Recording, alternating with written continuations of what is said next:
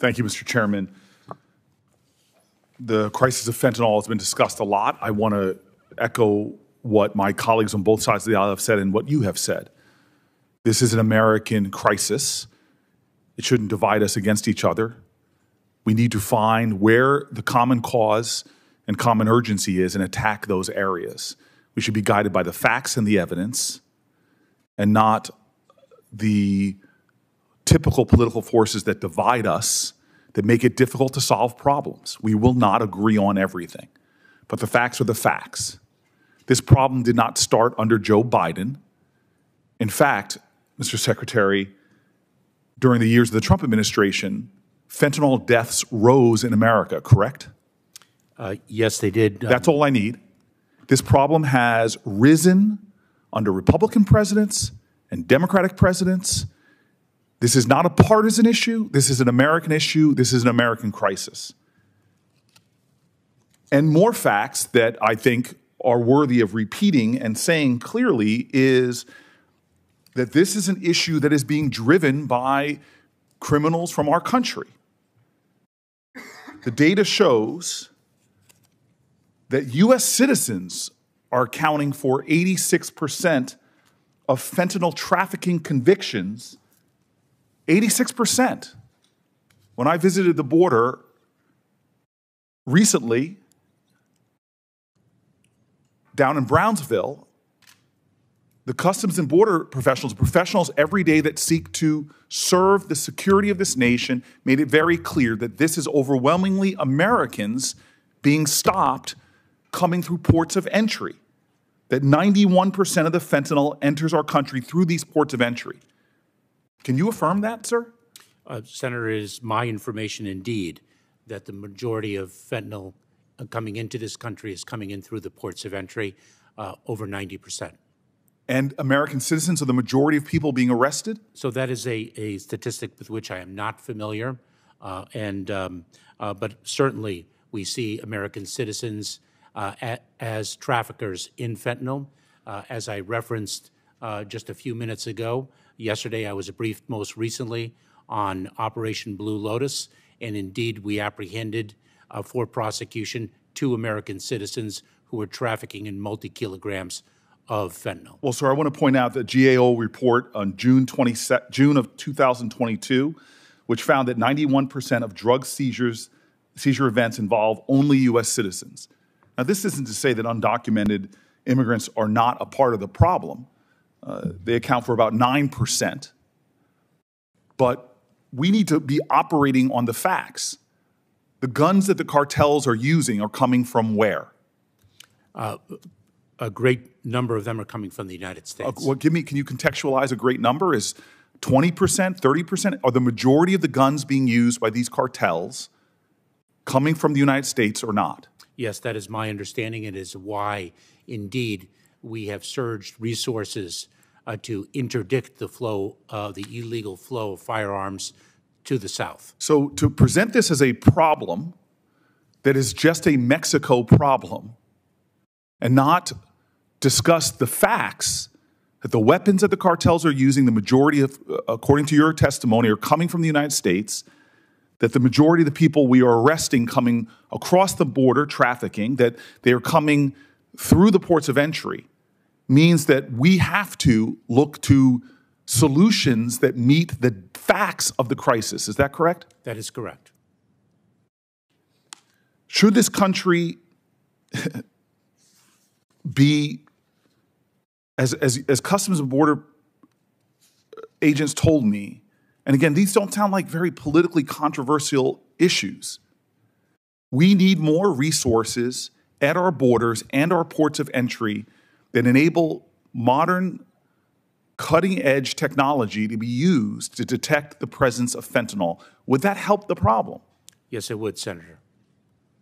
And, and I should say that we are deploying an unprecedented level of modern technology to interdict fentanyl. Our non intrusive inspection technology is extraordinarily effective, and we are exploring the use of artificial intelligence to serve as a force multiplier. I was in, uh, I was in Arizona last week. Not only did I see the non-intrusive inspection technology, which I've seen uh, in many of my visits to the border. I think I've made 16 as the secretary, but I also uh, learned from uh, our colleagues about the forward operating labs that we now deploy to the ports of entry. So personnel expert in the identification of the particular narcotic at issue can analyze it, confirm its identity, and bring the appropriate prosecution to bear. And, and so, if there's an action for Congress that, that could be a bipartisan effort, would be to surge the resources to be, further expand the cutting edge technology necessary to detect the fentanyl and to arrest the folks who are trafficking. That's a clear yes, yes? Yes. That's all. The second thing that reminded me of my work doing law enforcement in my city as mayor is that we found that too many of our police officers were engaged in activities that weren't the highest and best use when it came to stopping and preventing crime. So, again, we need to protect our overall border and technology that was discussed with me by Customs and Border Control that could use high tech sensory all different types of, of technologies from motion detectors to aerial surveillance. They would tell me would free up considerable amounts of our customs and border patrol to focus more on where exactly the fentanyl is coming from. Even more than that I, when you have the, a surge of asylum seekers they were telling me stories about too many of their customs and border patrol simply doing data entry dealing with the asylum seekers as opposed to having those officers do the things at the at, that we know uh, and focusing on where we know the problem is. And so they talked about just simply some of the things we did when I was mayor of the city of Newark, getting civilians in to do the basic data entry jobs, and, and freeing up officers to focus on ports of entry where their highest and best use is. And so, from the technology to protect our border to too many people sitting behind desks with guns and officers.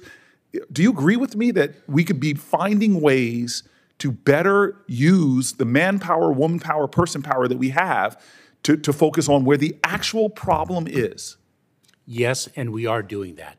And let me let me repeat very very briefly um, our use of technology uh, and our uh, exploration of AI, artificial intelligence, as a force multiplier to liberate some of our personnel from some of the more mundane tasks that could be uh, accomplished by Sir, I, I, would like to Second, learn more about that. I have two minutes left. I'd, I really want to hear more about that because when I was on the border, I heard from a lot of your agents the urgency to do this. I know you're making progress, and I'd like to hear more. But I, I just and we're also adding case processors to make sure that the agents, the uniformed agents, can be back out in the field. We have surged those resources in an unprecedented right. way. There's always going to be partisan differences. There's always going to be divisions in our country, but the lines that divide us are nowhere near as strong as the ties that bind us. We all care. We all are having people dying in our communities, people we know, families we meet with.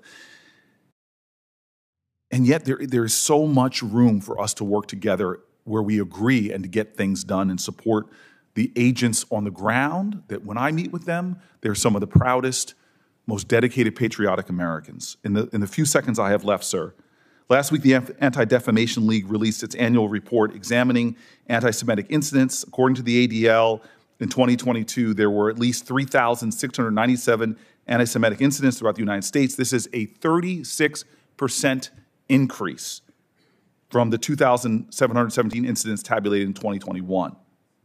It's the highest number on record since the ADL started tracking. Anti Semitism is at a stunning rise and the highest we're ever detecting. This is, to me, absolutely frightening. The number one targeted religious group in our country. I know the D- D- Department of Homeland Security released a toolkit for communities to better understand how to, how to protect themselves. I think it's a valuable resource. But could you please, uh, just in the last 30 seconds I have, how is the department approaching community driven solutions to the kind of violent extremism that threatens Jewish Americans, Sikh Americans, Muslim Americans that are beginning to, to, to have so many of our religious minorities being targeted in the United States? In the 10 seconds that I have, uh, disseminating information so everyone is aware of the threat providing advice with respect to the hardening of vulnerable locations, providing $20 million in grant funds uh, each year to allow um, places of worship, uh, religious schools, uh, community-based organizations to increase uh, their level of security. This requires a whole-of-community approach, and our, surve- our, our Center for Prevention Programs and Partnerships is extraordinarily devoted to that. Well, well, we have more to do collectively as a Congress and in your agency. More must be done. Hate has no harbor in the United States of America. These incidences are on a rise, and I would ask my colleagues, for all of us, uh, to do more in partnership with those who are protecting us in our communities to address the scourge of anti-Semitism and violence against religious minorities in our country. Thank you. Thank you. Thank you, Senator Booker. Senator Lee? Thank you, Mr. Chairman. Uh, Thank you, Secretary Mayorkas.